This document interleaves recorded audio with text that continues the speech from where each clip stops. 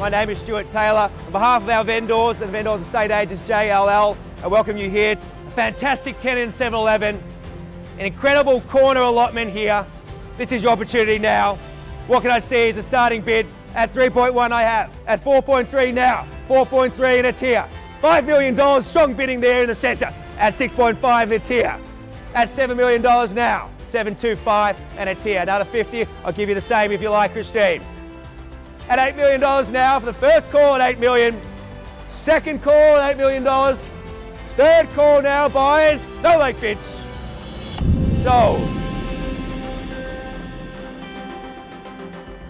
I welcome you here to the auction of 154 to 158 St Kilda Road here in St Kilda. What can I see now for an opening bid? At 5.1 on my right round me up to 6 million.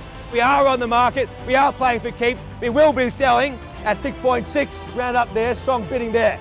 At $8 million rounded up now, at 8.1 now I have, at 8.1, 8.2 if you will.